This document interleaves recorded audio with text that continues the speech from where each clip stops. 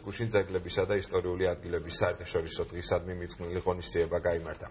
საქართველოს კულტურული მემკვიდრეობის დაცვის ეროვნული სააგენტოს გენერალურმა დირექტორმა ნიკოლო ზანთიძემ 2014-15 წლების ანგარიშის მოკლე პრეზენტაცია წარმოადგინა. ღონისძიების ფარგლებში კულტურული მემკვიდრეობის დაცვის ეროვნული სააგენტოს არქივში დაცული მე-20 საუკუნის დასაწყისში შესრულებული სხვადასხვა ძეგლის ანაზომების გამოფენაც გამართა.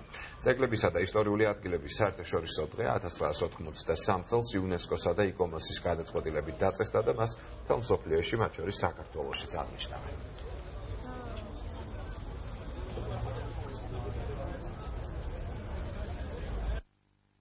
ჩვენ წარმოვადგინეთ დღეს ჩვენი მოკლე ანგარიში 2014-2015 წლებით, სადაც საკმაოდ საინტერესო პროექტები დაიწყო, მიმდინარეობს, ნაწილი დასრულდა, მაგრამ მე ორ სახელს დავასახელებდი. ეს არის ვარდიის გადარჩენითი კვლევა, წარმატებულად მიმდინარეობს და შარშანელმა სამუშაოებმა უკვე წელს გამოიღო შედეგი, რათა ყველაზე კრიტიკული ადგილი უკვე გამაგრებულია და სხვა ადგილებიც გამაგრდა ერთი ნაწილის კონსოლიდაციით და წელს ვიწყებთ კუმურდოს რეაბილიტაციას. ის არის მნიშვნელოვანი როგორც ექთა დაცვის სფეროში მომუშავე ადამიანებისთვის, ასევე სტუდენტებისთვის, მეცნიერებისათვის.